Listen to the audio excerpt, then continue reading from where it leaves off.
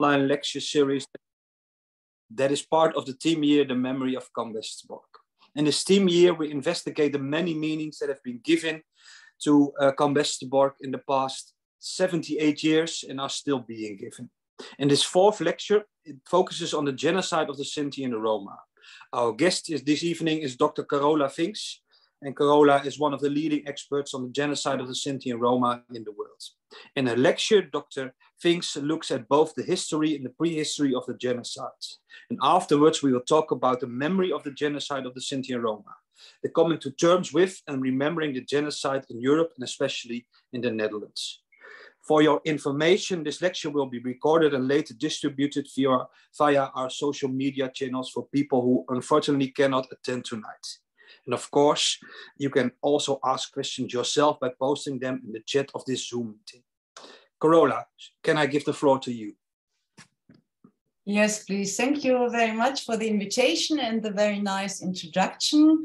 Uh, we agreed that I uh, will have a presentation, roughly about 20 minutes, and afterwards we will open the discussion.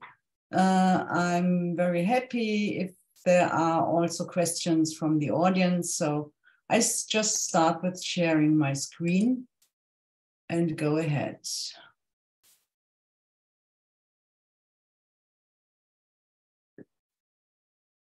Well, the title is The Genocide of the Sinti and Roma Research, Recognition, and Remembrance. Can you see everything good? Yes. Okay. We see here the now iconic photograph of Anna Maria Steinbach called Settela, who was nine years old at the time. It is a snapshot from a film showing the deportation from Westerbork to the concentration and extermination camp Auschwitz-Birkenau on 16 May 1944. This photo is also the starting point for today's talk. Like no other, it can illustrate the three aspects that will be at the center of our discussion. The research on the genocide of the Sinti and Roma, the recognition of this genocide after 1945, and the development of the culture of remembrance. Now, let's take research. I have chosen three works here that in some ways illustrate turning points in historiography. In 1972, The Destiny of Europe's Gypsies appeared. This was the first attempt at an overall account of the persecution and murder of the European Sinti and Roma, 27 years after the end of the war. But not only this is remarkable, but also the context in which it was written. Both authors, Donald Kenrick and Gretchen Paxson, were active in the then emerging international Roma civil rights movement. The activists had recognized that the lack of recognition of the genocide was one of the reasons why racism against Sinti and Roma continued after 1945. The demand for recognition of the genocide was therefore one of the movement's central political goals. 20 years later, journalist Aad Wagner set out to tell the story of the girl with the white headscarf. The film in which this scene appears had been taken in 1944 by the orders of the camp commandant of Westerbork by the Jewish filmmaker Rudolf Breslauer, a prisoner of the camp. Until 1995, when Wagner published the results of this extensive research, the girl was thought to be a Jewish child. His book illustrates how little interest there had been until then among researchers and the public to shed light on the persecution of Sinti and Roma. But it also shows that survivors and relatives had a lot of knowledge, but there were hardly any public spaces to share it. The discovery that the girl deported to an extermination camp was a Sintezza was a turning point towards an acknowledgement of the genocide committed against Sinti and Roma. Michael Zimmermann's book marks another turning point, namely the beginning of academic research on the genocide. His postdoctoral thesis, published in 1996, paved the way for the subject of research to enter the universities like no other, even, even if it was to take several more years before it became more widely established. Why did it come so late? Why was no one interested in the fate of the Roma? The main reason was, of course, the long lasting anti Gypsyism. Actually, I should be showing completely different images at this point, namely the distorted images that have been spread about gypsies, gypsies in Europe, especially since the end of the 19th century. These would illustrate how people were degraded to objects. But to be honest, I don't want to spread these images because they always have their negative effect. The most sought after motives were those that presented Sinti or Roma as ragged and dirty in the wild, the perfect counter image to a bourgeois society. In paintings and soon also in photographs, Sinti and Roma were made, made to savages, marked as strangers, labeled as nomads, and then also as criminals and associates.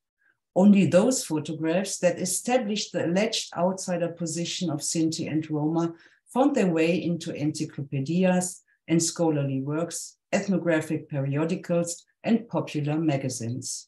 Anti Gypsyism, which dates back to the late Middle Ages, had become more entrenched with the formation of nation states and the division of people into races.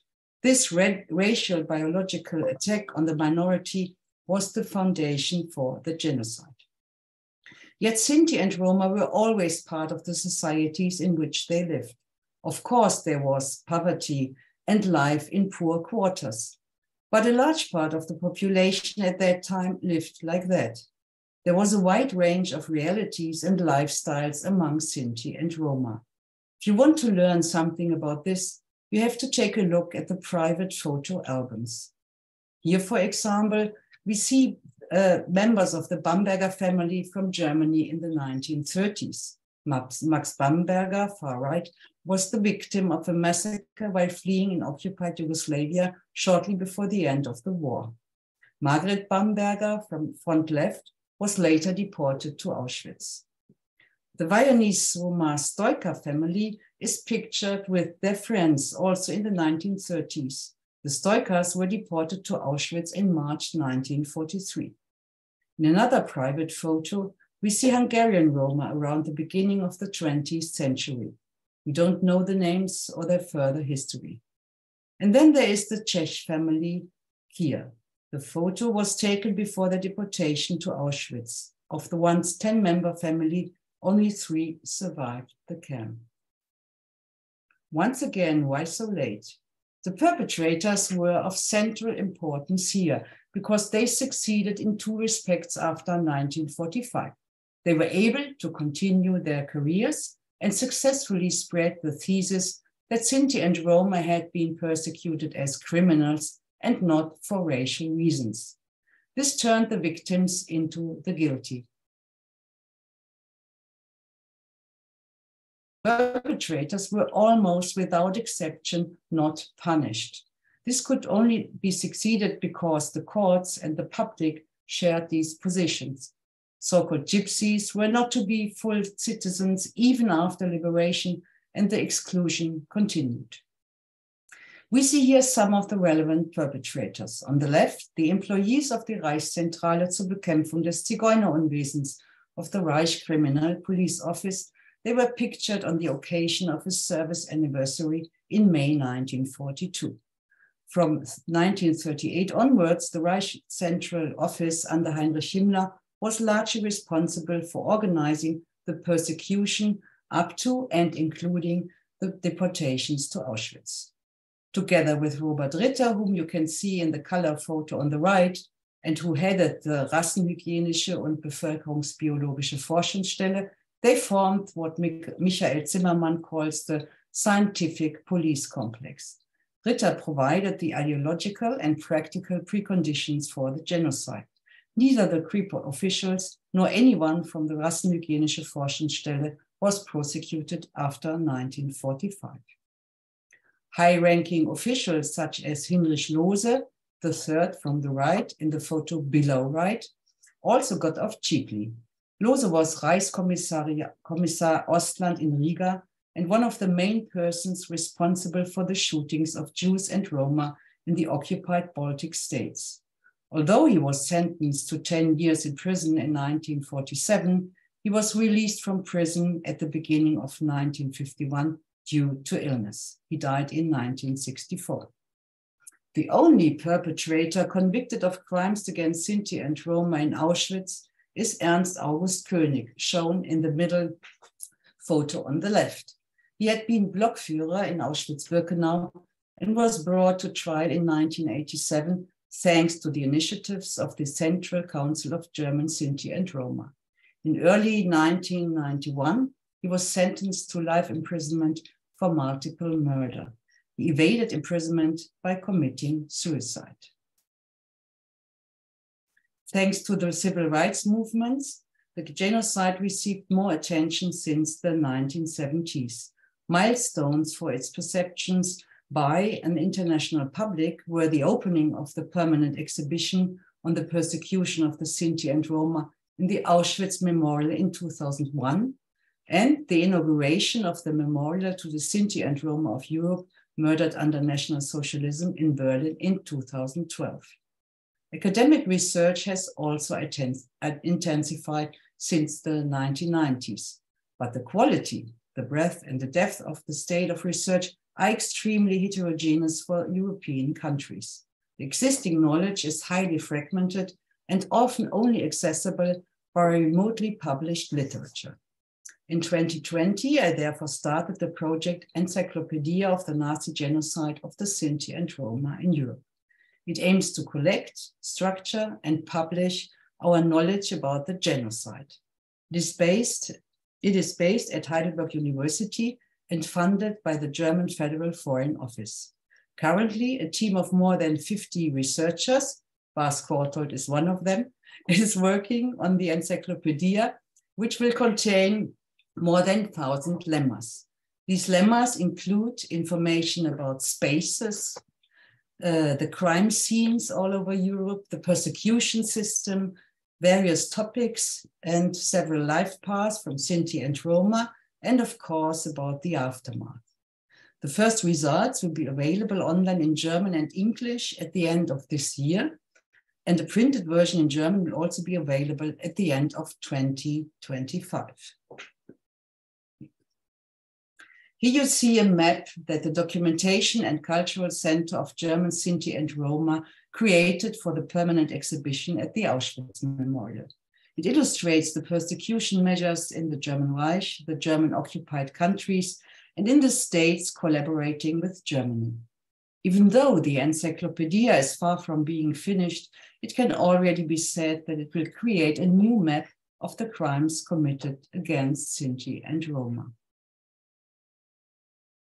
In the following, I would like to present three major complexes of crimes that are essential to the genocide of Sinti and Roma and can be found in different dimensions everywhere in Europe. First of all, there is the segregation from the rest of the population. In Germany, from 1935 until the beginning of the war, about half of the Sinti and Roma were locked up in detention camps. Here we see the camp in Cologne, where at times several hundred people had to live.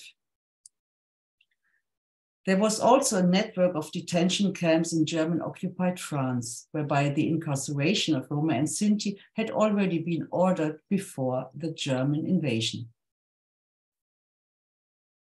In the protectorate of Bohemia and Moravia, there were two large detention camps that had the character of concentration camps, Lety in Bohemia and Hodonin in Moravia.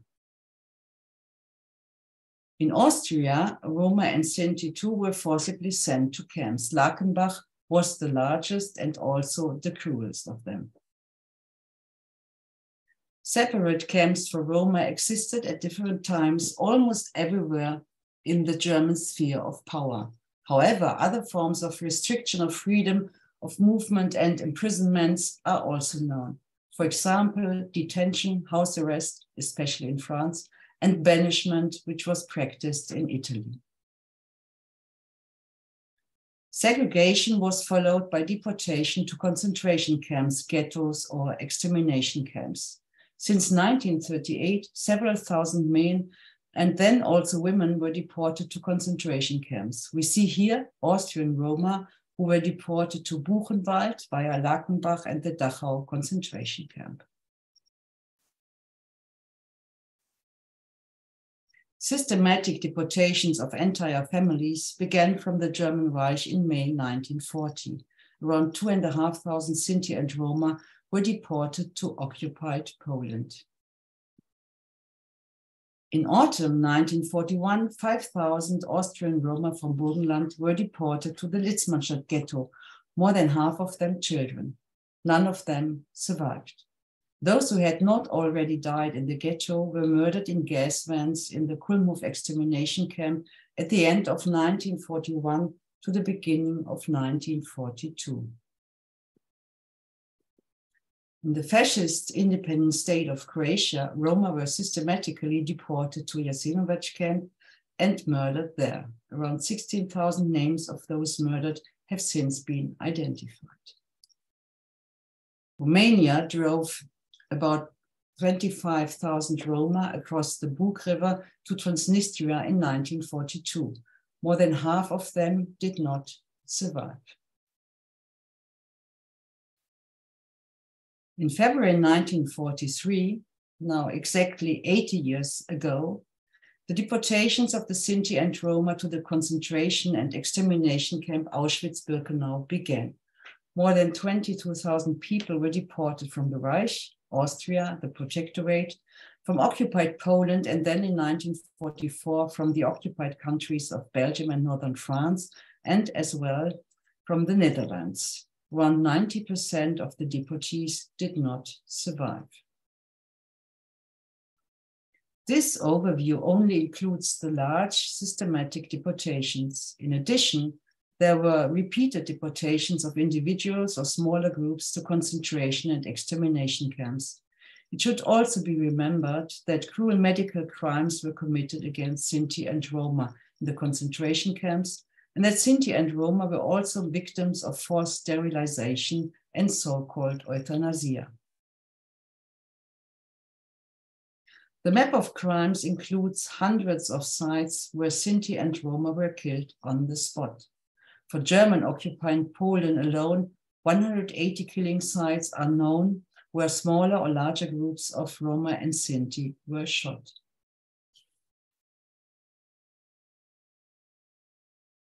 The crime scenes in the German occupied Soviet Union are far from being fully recorded.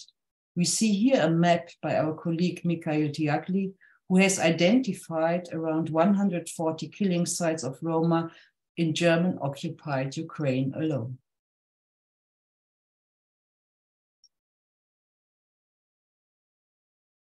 In German occupied Serbia, Roma were victims of the infamous hostage killings by the thousands. By the thousands. For every German soldier injured or killed in the war, the military commander had 50 or 100 prisoners designated as hostages shot. These were mostly Jews, but also Roma. The genocide of the, of the Sinti and Roma was predominantly carried out outside camps. Many of these crimes, which were committed mainly in Central, Eastern, and Southeastern Europe, have not yet been clarified. Little attention has been paid so far to the crimes committed in the last months of the war against smaller groups or individuals in the West, for example, in German occupied France or Italy. To conclude my presentation, I would like to address a topic that is essential to the discourse of remembrance. For decades, the former perpetrators dominated the discourse on the genocide of the Sinti and Roma. It is thanks to the commitment of the survivors and their descendants that this is no longer the case today. The online edition, Voices of the Victims, whose homepage you can see here, was created within the framework of Rom Archive the International Digital Archive of the Sinti and Roma. The focus is on written testimonies about the genocide from the perspective of those affected, mostly written during the time of persecution or immediately afterwards. For the Netherlands, three sources are presented there. They are shown as scans, as transcripts, and in translations. And they are made audible. We will listen to one of these sources. Petrus Johannes Voss. Esteemed Lord Mayor, Herewith I request, esteemed sir, if you could be so kind, to provide information about the Weisz family who lived at 85 Larstrasse. The family was transported to Germany on the 16th of May, 1944, and we haven't heard from them since. Please understand that we are the parents of Mrs. Weisz, and we would be grateful to hear if they are still alive. The oldest son is with us, and he is longing for his parents. The oldest son referred to is Zoni Weisz. Parents and both siblings were deported from Westerbork to Auschwitz and murdered. Zoni Weisz has been one of the most important voices of the survivors since his memorial speech in the German Bundestag on 27 January 2011. Now, if time still permits. It was your. Oh, and I think it permits. I would like to point out the growing importance of the memorial literature, from the first conversations and interviews since the 1980s to the biographies and autobiographies of individual survivors, impressive testimonies are now available. The second generation is also speaking out. Anyone who wants to know something about the horrific effects of persecution and the devastating impact of denied recognition after 1945 on survivors and subsequent generations should turn to such testimonies. Thank you very much. Thank you, Karola, for this for this superb overview. Uh, coming from the Netherlands and working in the Netherlands, like like a lot of people I think that that are here today, it's very easy to focus only on your own country's perspective. And it's harder to see, okay, this is not only in the Netherlands, it was everywhere in Europe, and especially the maps you showed, I think gave us a, a, a superb overview that uh, the deportation and killing of thousands and thousands and thousands of Sinti and Roma happened everywhere in Europe uh, throughout a lot of a lot of countries. Now, uh, I've written down some questions for you from the from the uh, uh, points you, you made, you can say. And looking, for example, at the Dutch history of the Sinti and Roma, it's quite easy for people to say, okay, anti-Gypsyism started in 1940 when the Nazis invaded uh, the mm-hmm. Netherlands, and it ended in 1945. But of course, uh, it's just like anti-Semitism. It's for ages and centuries. It's been here in, in our country, and looking at the laws implanted by the Nazis a lot of those laws in, implanted in the Netherlands were laws that people were thinking about, politicians were thinking about even before the war. And some of these laws were, again, not taken back, were still implemented in the 50s and in the 60s. Yes. Uh, for example, the travel bans you had in the Netherlands, it was a Nazi law, but in 1950 and 1960, it was still there. And nowadays, you can say it's still there. Uh, how was this in, in other countries? Or was it the same? Was it okay? A lot of ideas before the war, the Nazis invaded and they took the ideas, and and after the war, still those laws were were there. Well, I, I think it's an uh, it's a it was everywhere in Europe, and as I tried to to to make clear in my second or third uh, uh presentation part, um, it it it was we had it since the Middle Ages.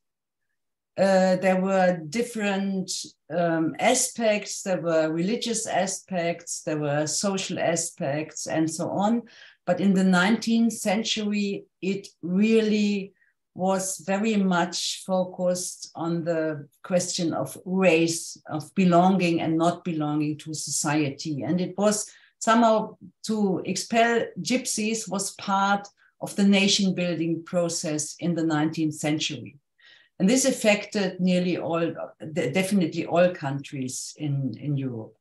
But there's a difference um, with respect to the question how deep this racial ideology was rooted in the societies. And in Germany, we see um, that there were uh, was a, a, huge power that led to the fact that um, the state had a policy that was based on race in 1933, and this made the difference.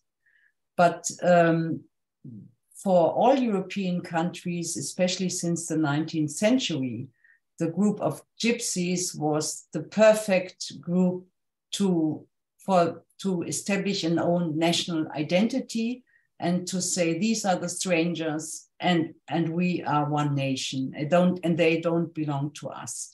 And we have several kinds of laws in diverse countries. And we also see that there was a pan European movement, especially within the bureaucracy of the criminal police. Um, one of the main topics by the emergent Interpol was uh, were gypsies. This was one of the main topics.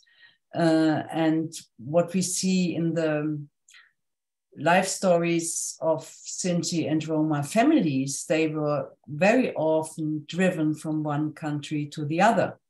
We know this definitely also for the Netherlands. There was huge exchange of people between Netherlands, Belgium, Germany, France, Luxembourg. And, and one of the participants uh, wrote in the chat that uh, looking at the background, the the original origin, you can say, of the Sinti and Roma. And she asked uh, uh, me, whom Sintu, it just sounds like an, an Indian word. And I, I, I, think you will know, just that I know, that one of the stories that came from the Sinti and Roma themselves is that they say, okay, we're from India. Uh, in how far is that the case? We know the oral history, but looking at scientific evidence, uh, do we know where they, they came from, or is it uh, uh, only the story that we know coming from the Sinti No, no, no. Definitely, we know, uh, uh, and we have this knowledge mainly gathered from linguists. Uh, that the Romani, the language that uh, most Roma speak or spoke, has this this Indian um, well elements there. And uh, from there on we know that uh, roughly around uh, the year 1000 there was migration of roma to europe uh, and then in the middle ages since the 13th and 14th century they settled all over europe. Uh, but we can see that um, within the 15th, 16th, and 17th century, Roma were settled in their countries. Um, linguists found out that uh, people have regional dialects that hint to the fact that they have been settled there for uh, decades. So um, the the saying that they are of Indian origin is always or quite often a technique to to make them to strangers. Um, so, and if we look at the history of mankind, uh, do you know where your ancestors came from? So, um, this doesn't play a role after 100, 200, 300, or 400 years. It shouldn't play a role, but it play, in, in this respect, it plays always a role.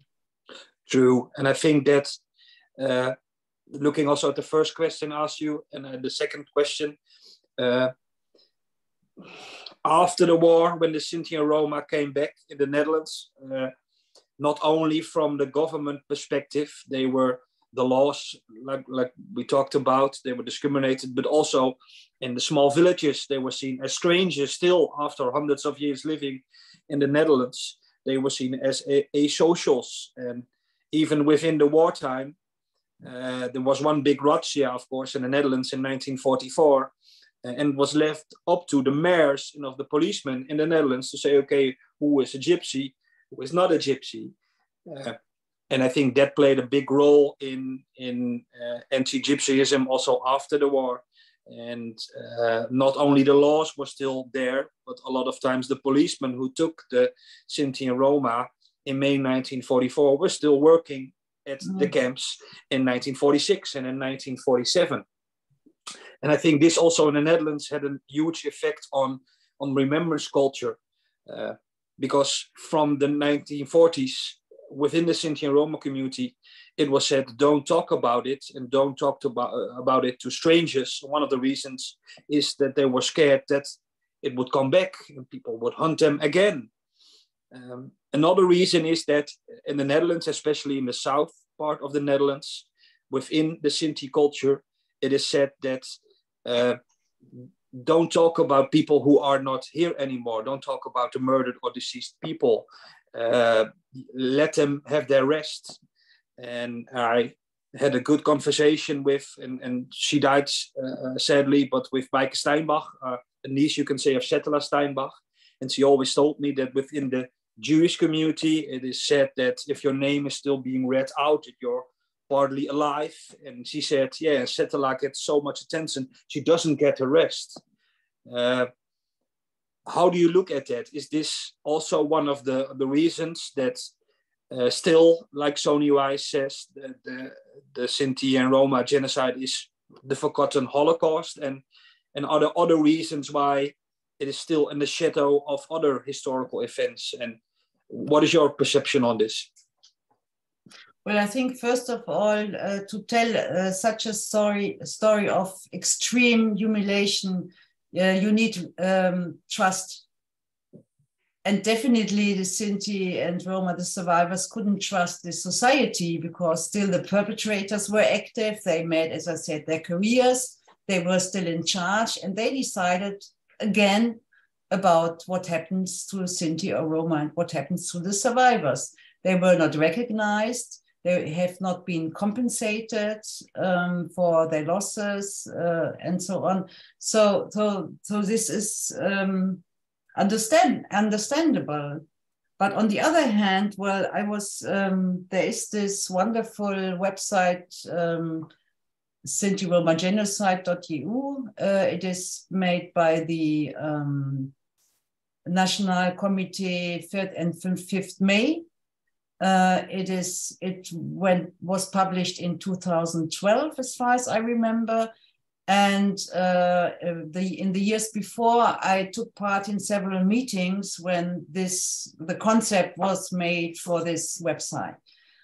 And in these meetings, quite often took, took place in, in the Netherlands, I, I had the impression that even at that time, there was no idea of who the people were who had been affected by the deportation from Westerbork and and definitely, uh, I always thought, well, the, well, the Sinti community in the Netherlands is so small.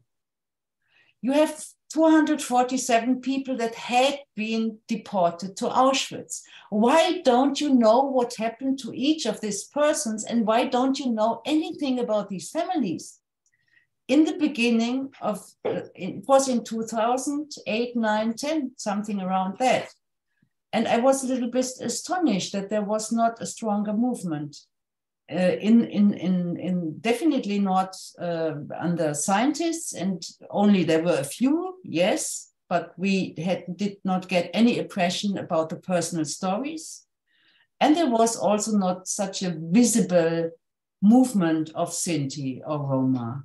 I think that changed a lot in the last 10 years and I think it would be interesting to talk about why it's it started so late in, in the Netherlands. I, I, I find I found this very very obvious. And and if you that if you compare that, for example, to to your own country, to Germany, uh, was there a force, for example, in Germany that said, okay, let's let's work on it? You have the center, of course, in Heidelberg. What kind yes. of role did that play? Yes, yes, definitely. I think that's a that's a huge difference. Uh, there was a, a, a, strong community in Germany that fought since the end of the war. With uh, in the beginning of the war, the, this were uh, uh right after the war, these were only a handful of people, but but starting in the beginning of the 70s, also uh, with this you know spirit of the international Romani movement, they got stronger and stronger, and they were really deeply worked on the question of recognition and compensation, and also on remembrance. And without this movement, we wouldn't have anything that is um, now seen in the public, like the memorial in Berlin. Uh, so, so this was a difference, and they definitely forced society to think about this history, to discuss about this history, and to do something uh, in respect of research, remembrance, and also compensation. Uh, but uh, on the other hand, it was not only the civil rights movement of the Sinti and Roma themselves, there were always supporters on their side that were committed to this topic and fought with them. So um, I, I, I can't explain what happened in your country there in this oh, respect, but it was so obvious that yeah. and, and also I think there was also also a little bit the ten, the tendency to say, oh, these were all strangers. These were the people that had been deported. They were only refugees from some other countries that were no Dutch people. True, true. And I think that uh, knowledge nowadays, uh, on the there's, on the one hand, there's more interest in the topic. I think we can talk about it uh, sometime later. But on the other hand, and I think you all also see this uh, with the Holocaust in general, uh, that knowledge about what happened is is getting less in the sense that a lot of people in the Netherlands know the word, for example, uh, uh, gypsy, 10, 15 years ago. And nowadays, if we talk about Sinti and Roma in Westerbork, with children, for example, then they don't know often what Sinti and Roma are. And then you say, okay, they used to be called uh, gypsy, zigeuner. And 10, 15 years ago, people would know, okay, now I know. And nowadays, even that word, we don't use it, of course, anymore is not well known anymore. And, and people uh, don't relate don't have knowledge about it. And uh, uh, because nobody from that culture maybe lives in their own town but also because uh, uh, of course you've shown books that have been coming out in the last couple of years but there are only a few books within the big amount of books that come out of course about the Holocaust, about the, the, the Sinti in Roma, and about the genocide. But I believe it's a little bit changing, like you said. I think mm-hmm. one of the reasons for this is that uh, also from the Sinti and Roma community themselves, from the third generation, you can say a lot of in- initiatives have come forward, say, okay, uh, this is not how it should be, and we have to uh, have information about this. We have to have more shedding light on on, on what happened and I think that's very important. That um, uh, that academics, uh, that uh, educational workers, school teachers talk about it together with Sinti and Roma. Uh, how is this uh, in in other countries in in Europe? How, except for Germany, how is how how people how is being talked about this sub the subject? How uh, on schools, etc. Uh, can you shed a, a, light a little bit on that? Is this a big topic in other countries, or is it just the same in the like in the Netherlands? No, it is. It is. It differs definitely from country to country, and it depends. Um, first, uh, I think what what is very important is whether there is an active work in the memorial sites and I think, therefore, that Westerbork is a, is a key place for this question. Um, well, we see now, for example, in, in, um, in the Czech Republic, uh, there had been a horrible debate for years and years about uh, the former Lety camp, where there was a pig farm after 45. And it took, took years and years uh, until this, this uh, former campsite was rebought by the state, and now they are going to establish a memorial site there.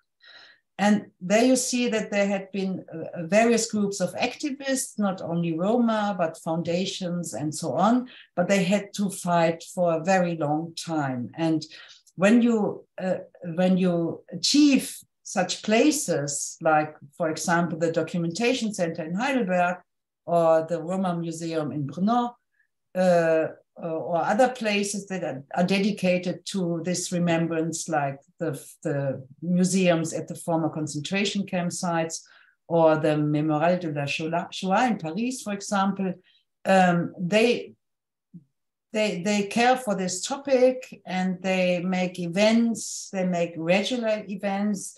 And this is, I think, I think one of the most important things. And uh, let's let's let's look, for example, at countries like Norway. Uh, we know that no deportations took place from Norway, but it plays there also a role in the remembrance culture because of two things. The one thing is that there was a group of roughly 30 persons, Norwegian Roma, who had been expelled at the border from to Denmark uh, they were not allowed to cross Denmark to go back to Norway in 1934.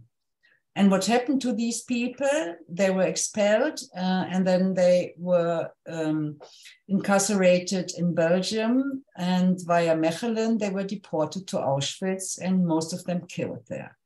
So, uh, but there now in the last years, uh, some kind of remembrance started there that there were ancestors of these families, um, descendants of these families uh, that were interested in this story. And the center in Oslo, they did research on this topic. So this is how the topic comes back to the country and they try to integrate it now uh, in various formats, be it school, be it museums, exhibitions, talks, and so on. On the other hand, we, we, we see that there's a Euro Europeanization of remembrance. And people who, let's say, for example, families who, um, after 45 stranded in Germany or were, were liberated in German camps and then immigrated to other countries especially for example let's say let's talk about sweden uh, they bring with them their stories.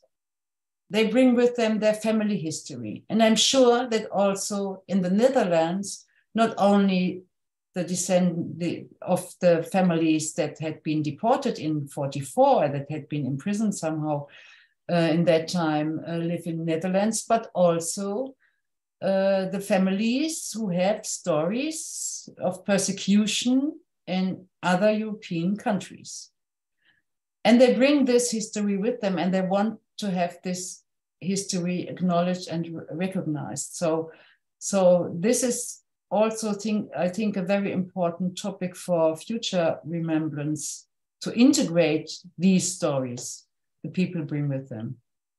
True. I think that looking at the sinti and roma community nowadays in the netherlands it exists partly of the sinti that were there already in, in 1930, 1940, even within the 19th century and the 18th century, some of them, uh, of, the, of their, their families, you can say, but a lot of them were came to the Netherlands in, in the 60s and the 70s and the 80s from the Balkan or from Czech, Czechoslovakia or from a lot of countries. And, and again, the, sto- the stories that I hear uh, go about talk about Westerbork, of course, but they also talk about Jasenovac, they talk about Lety, so um, in that sense, it's not. It's even a European story within the Netherlands, you can say, and I think this accounts for a lot of countries. Uh, touching back on what you presented, and of course, you talked also about Settela, uh, which is the history of Westerbork.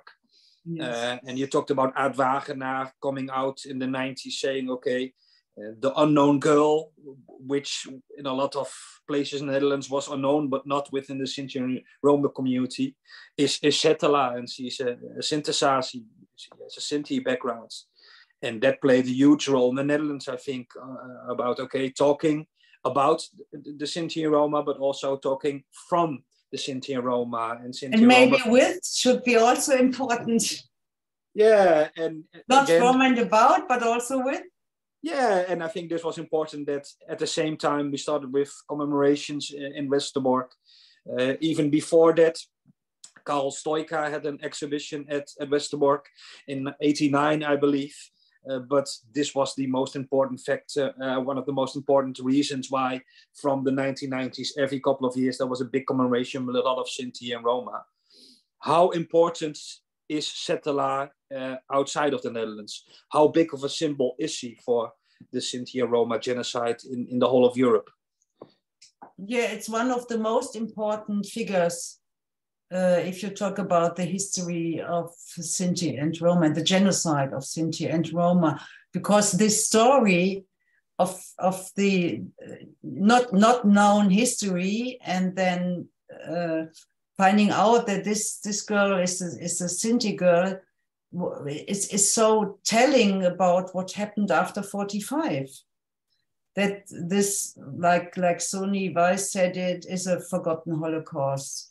And and also this um, well definitely in um, the awareness of, of the holocaust is very closely connected to wagons and deportation and and this combination is very strong to, to see a person in a wagon where you know this wagon starts to an extermination camp. And and and this is somehow uh, a dignifying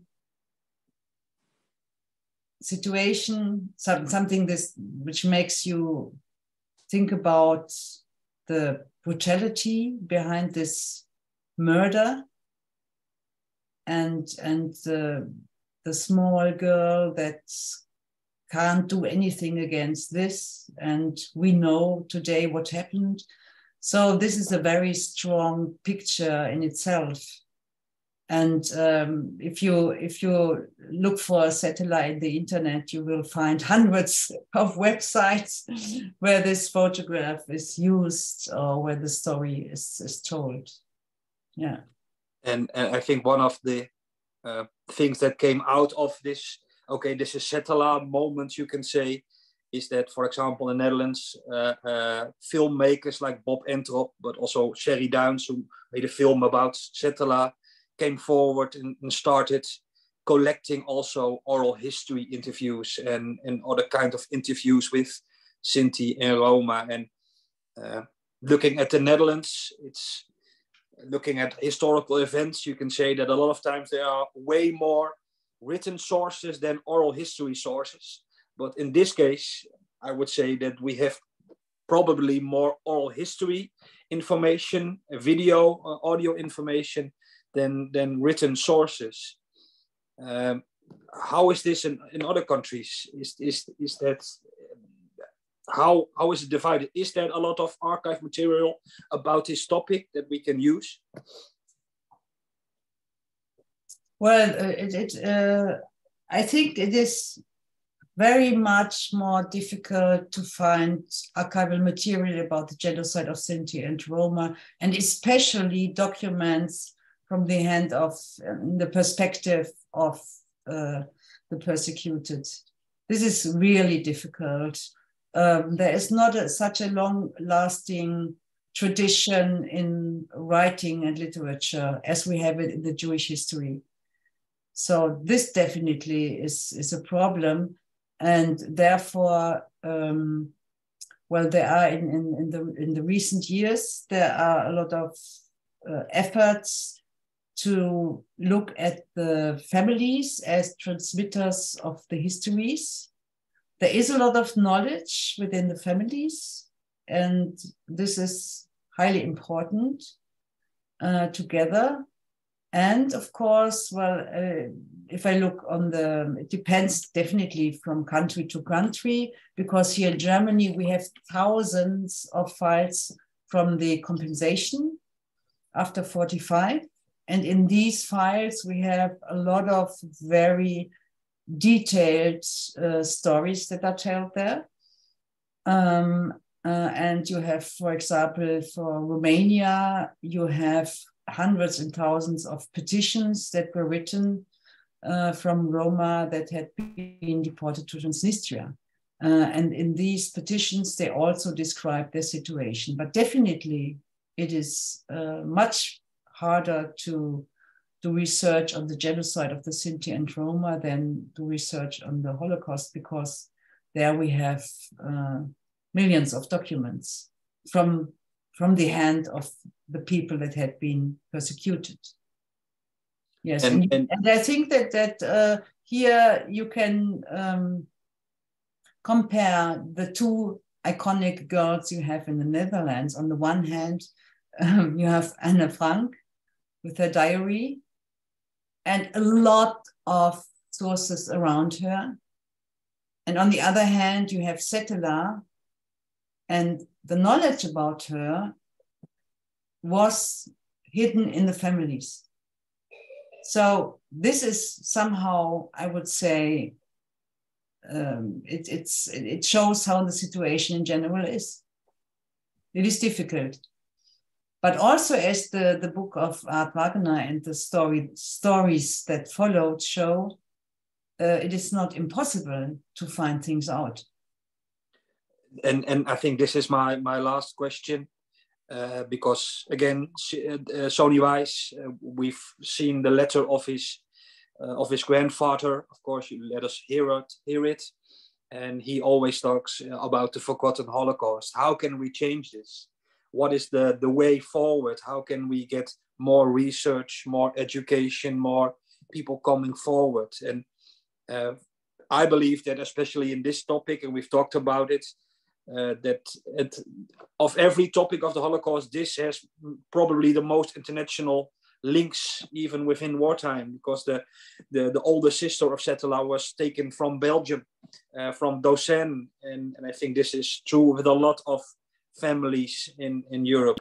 Yes. Is this the way forward? One of the ways forward to really uh, work together in an international per perspective and and other other ways how how should we proceed do you think yes well i, I think that uh, um, the international collaboration is is one of the key uh, situations we have here we we have to work international internationally we have to exchange our knowledge uh, about the persecution this does not only relate to the history of the persecuted, but also to the history of the perpetrators.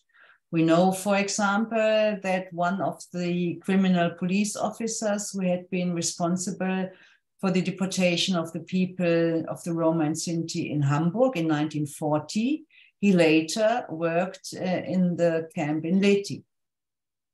And uh, we already discussed this. Uh, um, who were the key figures for the persecution in the Netherlands? Who was responsible in the German apparatus and who was responsible from the side of the Netherlands uh, population? So I think there are still a lot of questions to solve, and uh, there are a lot of questions we can only solve in an international exchange on the one hand. But on the other hand, I think there are two other important things to do. The one is to go into the archives. And uh, as far as I know, uh, not yet everything um, is researched in the Netherlands. In the local archives, there are a lot of informations about the families, where they lived, uh, what they what kind of professions they had, and so on. Um, and also, and the, the third thing is um, really to find formats and situations where uh, the families, uh, as far as they are interested, um, can work together with historians um, or researchers or the memorial site in order to establish regular formats of remembrance um, or other formats that could spread the history. I, yeah, I think you are totally right in the sense that uh, Yehuda Bauer, of course, one of the leading his, historians on the Holocaust in the world, always said countries also look at your own perpetrators, and it's quite easy to say.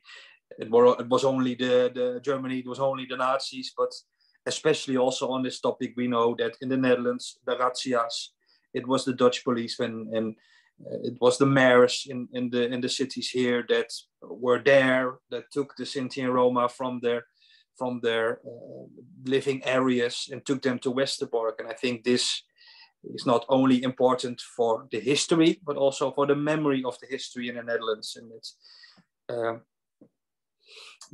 the way the relationship between the government nowadays in the Netherlands and local governments and national government and the Sinti and Roma partly comes from this and partly comes from the enormous distrust that is, of course, normally this is completely normal that but it comes from wartime. And it comes from so it has an effect on on Sinti and Roma nowadays. And I think this is very important to give that context also that it wasn't only it wasn't only the Germans the Nazis who did this. It was us. It was also the Dutch. It was our grandfathers. It was our uh, grandparents you can uh, you can say and of course I again I think that academic research will never be finished so it's very important to really look for the archives, look for the local archives, and really dig into the histories that are there. And like you said, on the other hand, the last remark, uh, give space and give room for the Sinti and Roma themselves to create things uh, on their own turf, on their own way. Okay, this is how we want to talk about our own past. And uh, what we do in Westerbork every time is work together with Sinti and Roma, not talk about, but talk with Sinti and Roma. I think this is very, very important. Yes. Karola, thanks incredibly for your insights, for the sharing of your insights. Uh, like I said earlier, uh, sometimes it's very easy to only look from your own very narrative view as, as a Dutchman, uh, but getting insight in, in how it is in, in Europe is, is, is very valuable, I would, uh, I would say. So, so thank you. Uh, uh, this brings us to the end of this fourth lecture on the memory of Camp Westerbork. So everybody at home, thank you for your attendance. The next month, of course, there will be a new lecture. And the topic of this lecture will be perpetrator heritage and our memory in dealing with this perpetrator heritage. And our guest, the speaker, will then be Rob van der Laarse, who holds the so-called Westerbork chair at the University of Amsterdam. Uh, Karola, thank you again, and everybody at home, thank you for your attendance, and maybe see you next time. So thank you. Thank you very much. Have a nice evening.